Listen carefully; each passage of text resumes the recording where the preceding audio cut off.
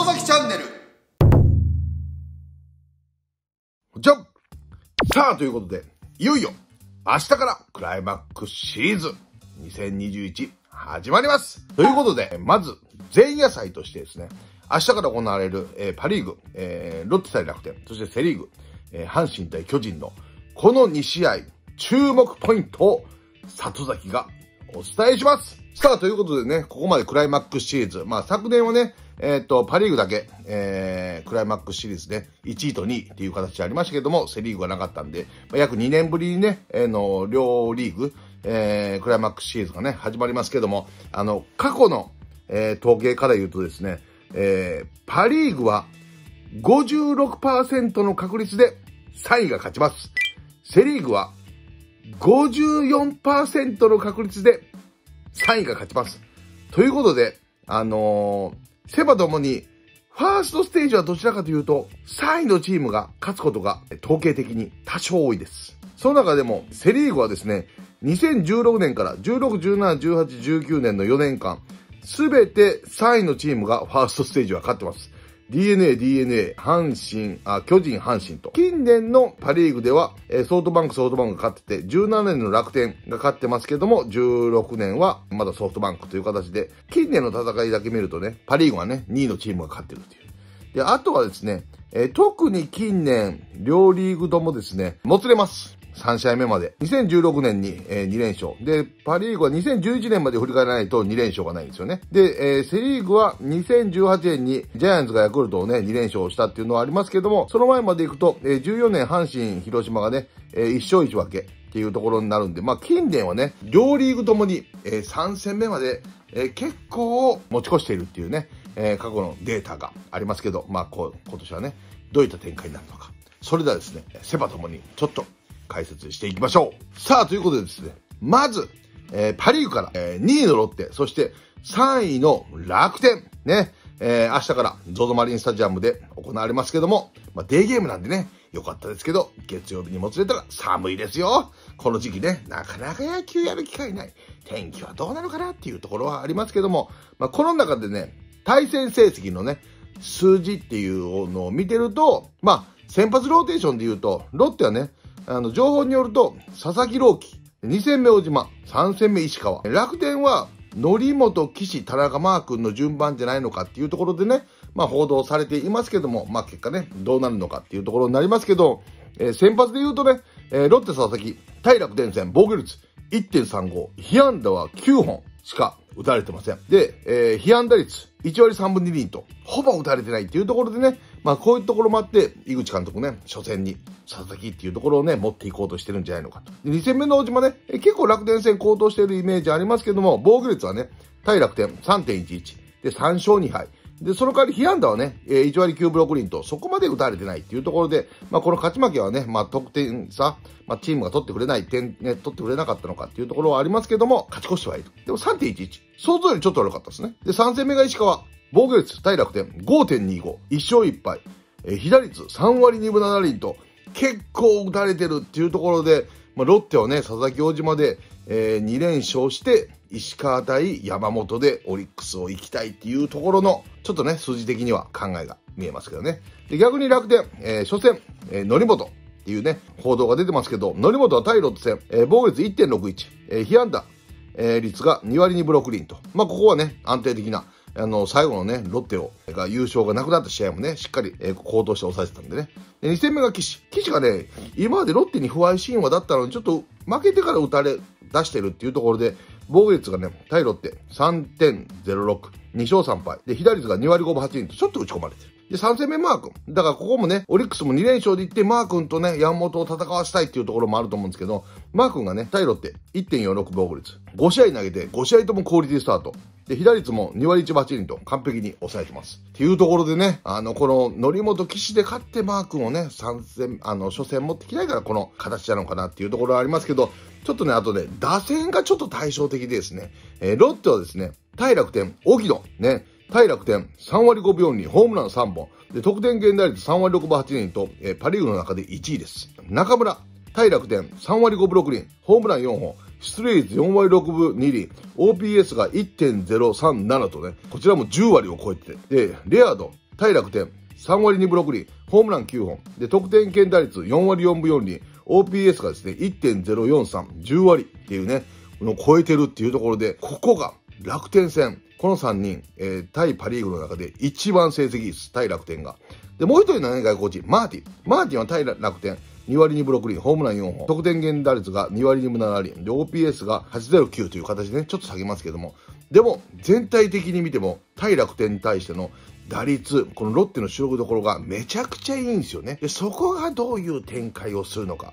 逆に楽天、対ロッテで言うとですね、主力打者、ね、浅村、対ロッテ、打率2割8分9厘、ホームラン3本、得点圏打率2割6分7厘、OPS が774っていうね。鈴木大地、対ロッテ、2割6分6厘、得点圏打率1割1分8厘と。結構打ってそうに見えてもそんな打ってないっていうね。で、打点王の島内、1割8分8厘。で、打点が11。これはパリーグ最小です。パリーグの中で。島内が打点を上げたね。で、得点圏打率が1割8分8厘と。OPS が605と。これもなんか低い。で、岡島、タイロって2割5分3厘。で、打点が7。こちらも最小です。で、得点圏打率2割。で、OPS638 と。ちょっと打ててないね。楽天打線が。この数字だけ見ると、楽天投手陣がロッテ打線を抑えれるかどうかだけが鍵だね。まあ、則本もね、ロッテに対して対戦成績がいいんでね、そういったところがどうなるのかっていうところはありますけども、ちょっとこのね、楽天打線がロッテ投手陣に対して今年全くね、主力どころが打ててないっていうところは、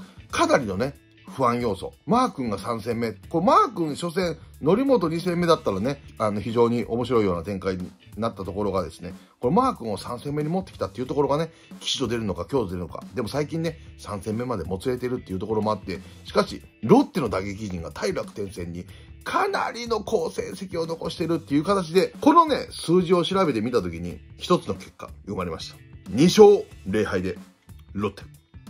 行くんじゃないのかと。ちょっと打てなさすぎというとこう、だ佐々木だね。佐々木朗希を打ち崩したら、ら初戦楽天が勝ったら楽天だね。で、初戦ロッテが勝ったらもうロッテだね。っていうぐらいのちょっと成績のね、バランス感見えるかなっていうところでね、まあこちらね、どうなるのかっていうところですよね。あのー、佐々木の予想的にはロッテが2勝0敗で勝つんじゃないのかという予想を、この数字だけ見てね、感じます。皆さんどう思いますか？明日プレイボールですよ。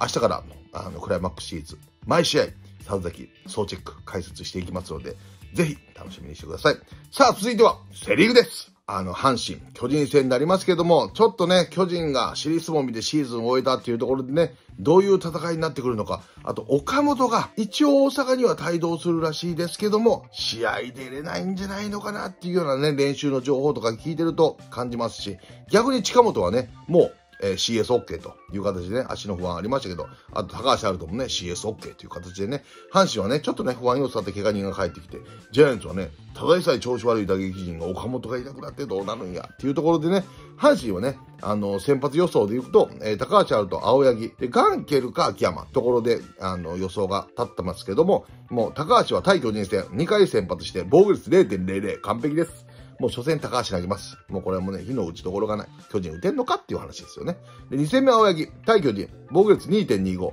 えー、被打率が2割6分と結構打れてる。しかし3試合登板で自責点5と20イニング投げてね、え失点はそこまでしてないんで、そういった意味では安定的なピッチングしてるかなと。で、ガンケルが対巨人、6.28。秋山が5.48と、ちょっとこの2人の対巨人防御率が悪いっていうところがね、若干心配かな。でも高橋遥人の0.00はね、非常に素晴らしい。で、続いてね、巨人、えー、第1戦先発がね、菅野予想されてます。えー、防御率、対阪神2.53。えー、1勝1敗。左率がね、2割3分5厘と。まあ結構いい形でね、抑えてるかなと。で、2戦目がね、高橋。えー、高橋幸、対阪神。えー、防御率1.45。4勝0敗と、無敗です、阪神に対して。で、被打率も1割5分2厘と完璧に抑えてます。こういったところでこの高橋っていうところがね、いい感じかな。で、3戦目、山口ね、えー、対阪神2試合先発して防御率0.93、被打率が2割6厘っていうところでね、非常にちょっとね、ジャイアンツの方が先発ね、対阪神相性いいのかなっていう形はありますけども、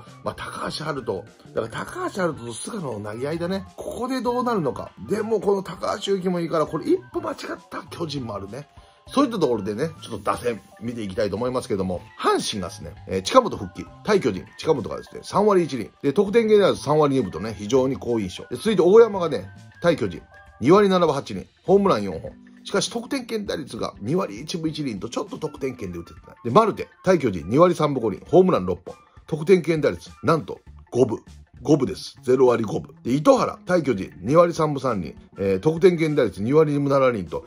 ちょっと心配だね。打線がね、全体的に。近本だけいい形だけどね。で、続いてね、巨人。坂本がね、対阪神3割8厘、ホームラン5本、OPS958 とね、いい形で。で、丸、えー、対阪神2割1分4厘、得点圏打率。1割7分6厘。で、岡本、対阪神2割1分6厘、ホームラン7本、得点圏打率。3割4厘、OPS759。で、松原、2割7分7厘、得点圏打率。えー、1割5分4厘。で、ウィーラーが2割5分9厘。得点圏打率3割7分5厘。ウィーラーいいね。得点圏結構ね。対阪神に対して打ってるけども、巨人も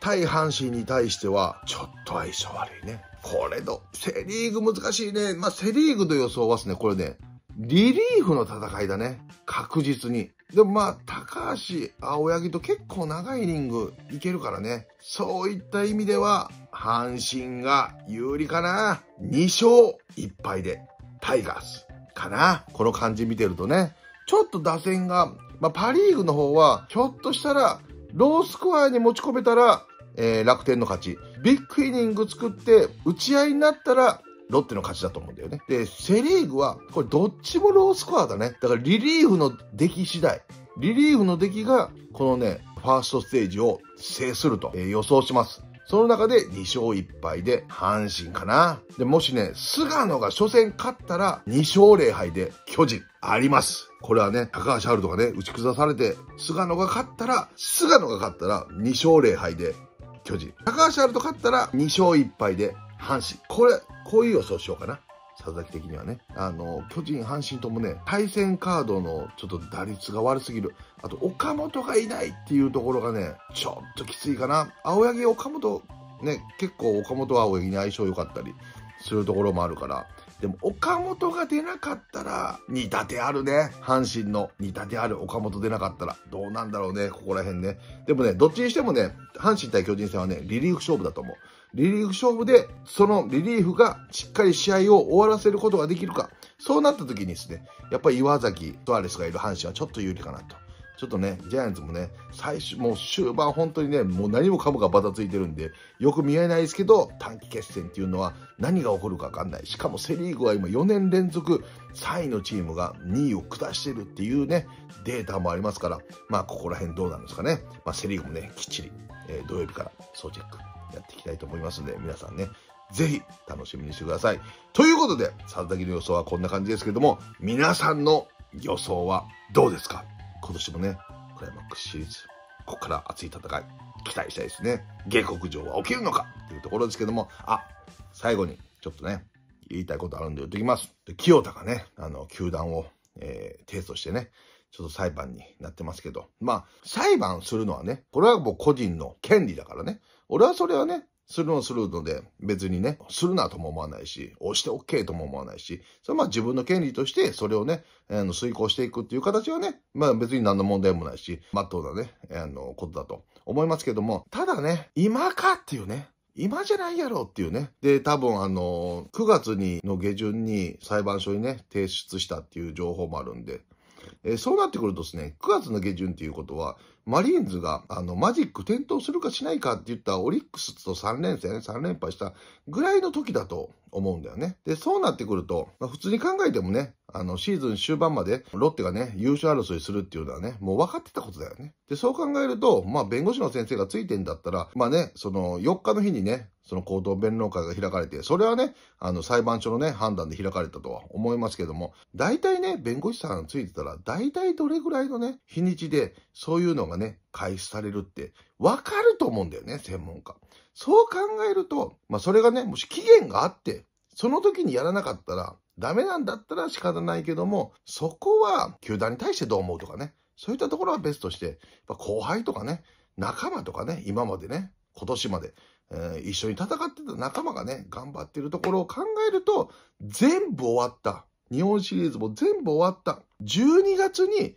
そういうのが表立って行われるように配慮しても俺は良かったんじゃないのかなと思うし、そのまあ客観的に考えると弁護士に丸投げで全部任してて、あの、よくわかんない中、なんか進んでいってんじゃないのかなと思うけども、弁護士は所詮代理人だからね。もうちょっと世間の風っていうかね、センスを弁護士の人にも出してもらいたかったなっていうのはあるけども、もうちょっとその配慮、あの別にその期限がなくね、そこじゃなきゃいけない理由がないんだったら、12月とかね、全部終わってからとかね、野球のシーズン、しかも今特にね、まあこれがロッテがね、B クラス確定で最下位沈んだとか、だったらまだね、いいけども、やっぱり優勝争いギリギリまでしてね、こういう状況になって、で、明日からね、クライマックス戦おうっていうね、状況になってる中で、まあ俺はそうやってしてもらいたかったなっていうところもあるし、そうやってするべきじゃなかったのかなっていうところもあるんで、ちょっとね、今回の時期っていうところにはね、残念だなっていうね、えー、気持ちはありますけども、まあでもね、あのー、もう進んだものはね、進んだものなんで、そこら辺をね、まあきっちりしたいと思いますけども、ファンの皆さんも含めて、ここはね、気持ちを切り替えて、時は戻せません。はい。気持ちを切り替えて、集中していきましょう。集中して、ロッテファンの皆さんも、楽天ファンの皆さんも、阪神ファンの皆さんも、巨人ファンの皆さんも、そして首位で待ってるヤクルトファン、オリックスファンの皆さんも、集中して、クライマックスシリーズを全員で楽しんでいきましょう。ということで、明日からのクライマックスシリーズ、要チェック。